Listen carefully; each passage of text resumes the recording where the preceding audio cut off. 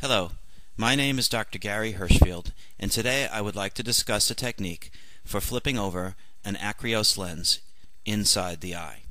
This technique can be used for any type of intraocular lens. Here I have completed the cataract operation and I am putting viscoelastic into the eye. In this case it's Provisc. Now I am inserting the Akreos lens. Notice that the bevel is down on the cartridge and my usual technique is to have the bevel up because I have my technician loading the lens upside down.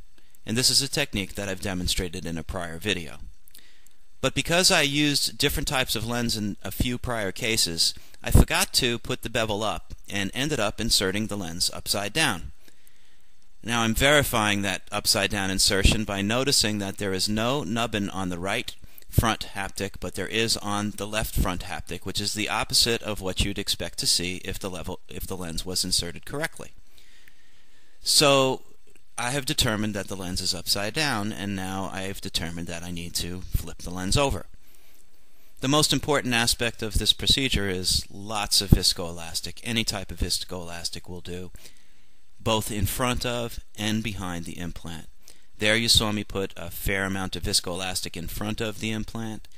And now you're seeing me go behind the implant, injecting viscoelastic and using the viscoelastic cannula to bring the optic and the haptics out of the capsular bag and into the anterior chamber.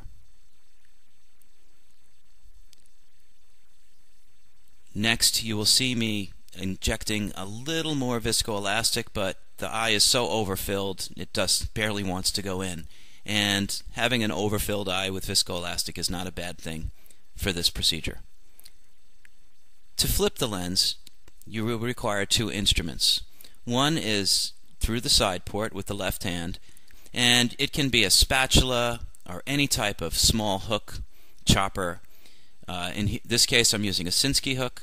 And with the right hand, I'm going underneath the intraocular lens and flipping it over as you can see. Uh, the left hand is very important to create the pivot point and also to keep the lens away from the cornea. And that lens, I can tell you, didn't come anywhere near the cornea. Then I insert the haptics into the capsular bag, and what could have been a very difficult procedure was quite easily converted to an uncomplicated end result.